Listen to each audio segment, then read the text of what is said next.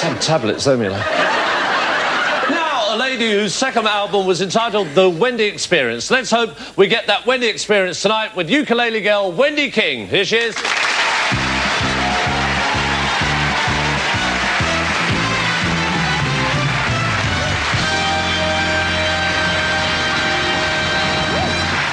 Hi, Wendy. How are you, okay? Yeah.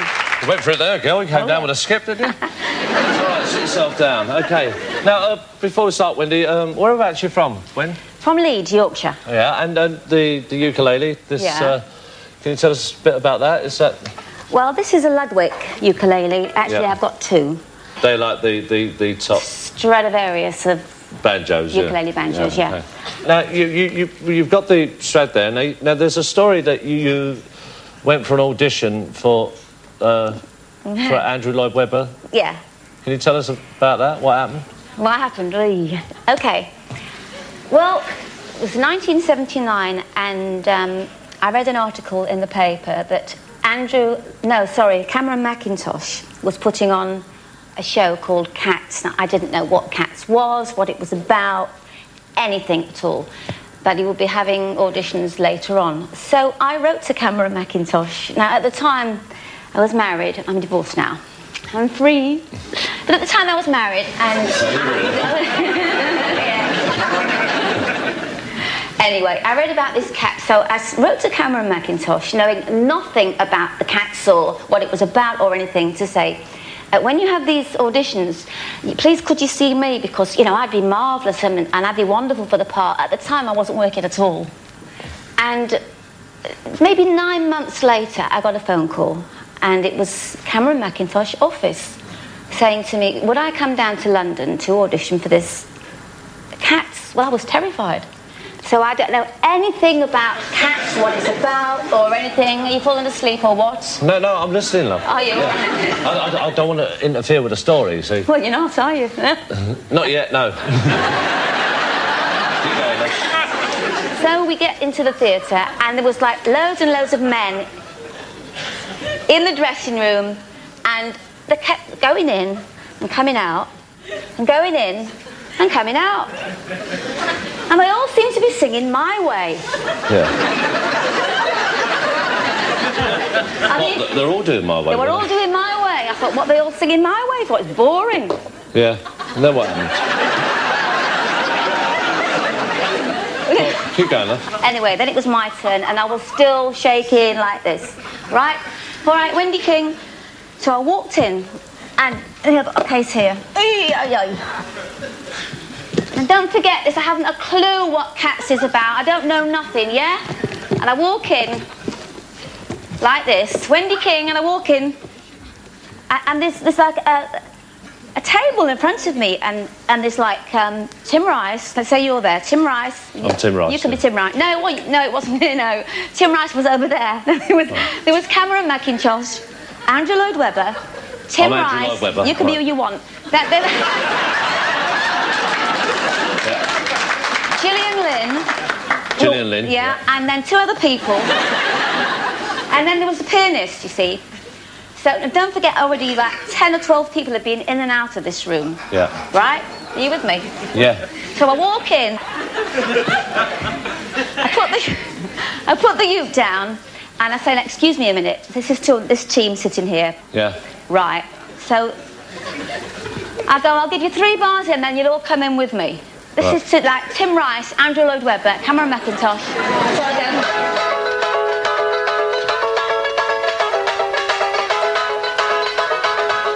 When I'm cleaning windows, That was it. So,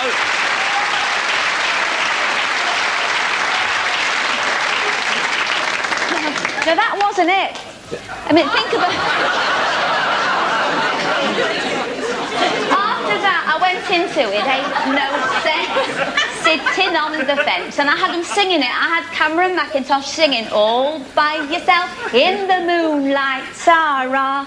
And I mean, this is Cats. Think about it. Midnight, and I'm singing "Lean on the Lamppost." So then I put down the uke, and they're looking at me like you. by the way, if you just tuned in, the Queen's abdicated.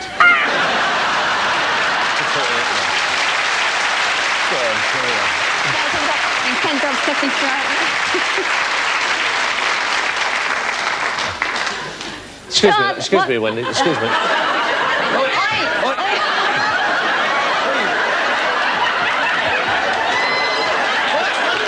Where are you going?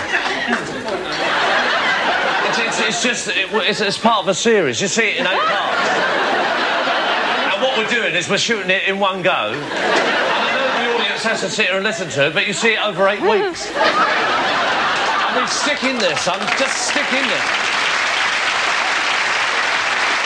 Come have a listen.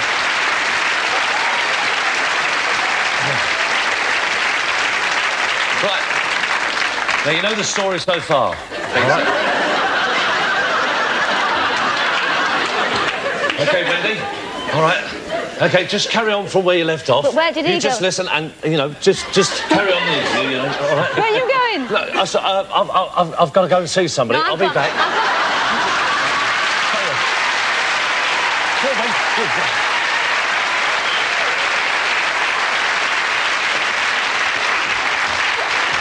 Right, carry on, Wen. I'll, I'll I'll have a lay down behind it. What, what's, what's, son, what's your name? David. David, yeah, go on. Good luck, good luck, son.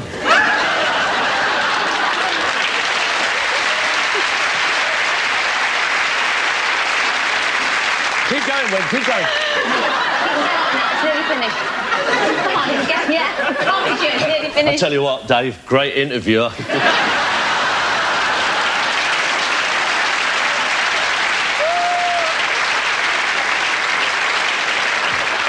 I promise you.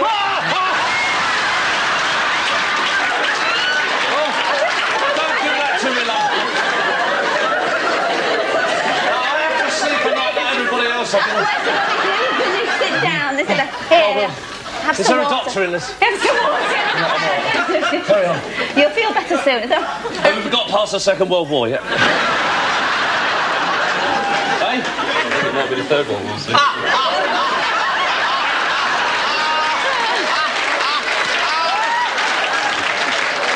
Oh, you crack me up, you. oh, I'm just tuning in, Dave, for that one liner. I think it may be the Third World War.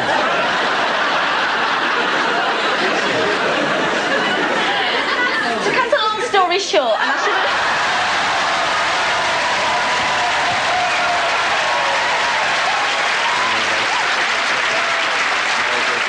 What did you say? I said, I'm glad you're doing this, Jim. No, you're not. You're taking over from there on. When I got to do Hard-Hearted Hannah, which I didn't get to do, they said, we've seen enough now, dear. I said, oh, have I, have I got it then? That cat, the passing cat, she said, um, just stand back, dear, and do step kick. So I said, what? I said, step kick? Step, kick. All right. What are you talking about, step kick? What are you talking about, Step? It's fine. What step kick? this lady, she was. this lady was called Gillian Lynne, and apparently she's a very, very, very famous photographer. Not photographer, choreographer.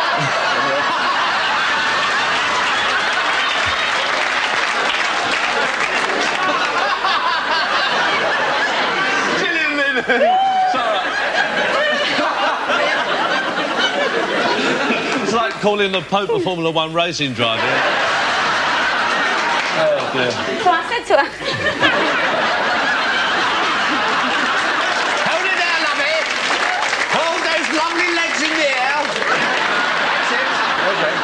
I said to her, what step kick? What are you talking about? She said, I'm really sorry, dear, but if you're not a trained dancer, um, we can't use you. So I said, oh, does that mean I haven't got it then? And she said, yeah. So I took my uke and I said, uh, oh, all right then. And that was it. And I walked out. But backstage, no, don't worry. No, if you're watching,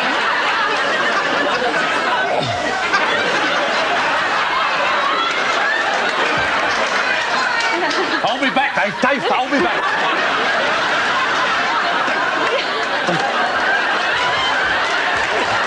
Dave, I'll be back.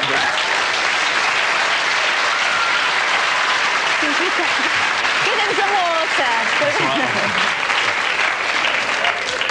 Is there anybody still there? Yeah, no. If If she's watching, will you tell her I can do it now? Oh, you can. Oh, can you do something else for us? Yes, I'll- I'll You move, go and yeah. sit down, Dave. Thanks, Ronald. That's well done. Dave, you go and sit back. You sit yourself down. There we are. There you go, girl. I'll move this out of the way for you. You don't need that anymore. there you go. All right. So, Wendy, would you would you like to play play the uke for us? No. Step. No. All right. Why don't you go over and get yourself ready, and I'll introduce you, ladies and gentlemen. Yeah, Wendy King. There we are. Wendy. There you go. You take uke.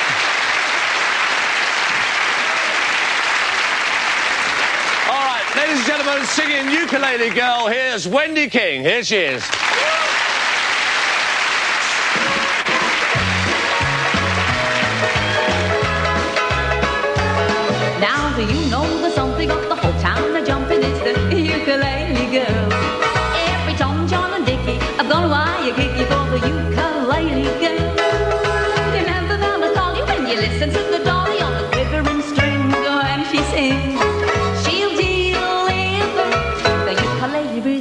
Swanee River. So very classy at the shaking of a chassis is the ukulele girl captivating, fatal, fascinating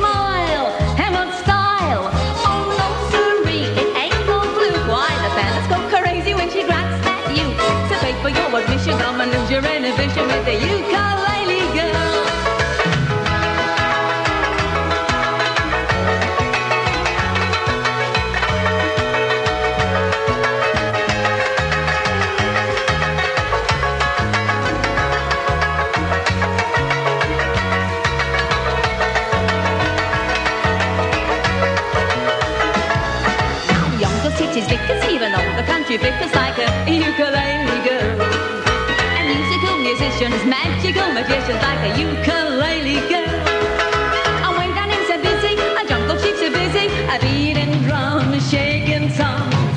That's the Rangers, you're shaking to the ragtime Alexanders down in Honolulu. Every little Zulu like a, a ukulele girl. They clap their hands, they shout for more and more.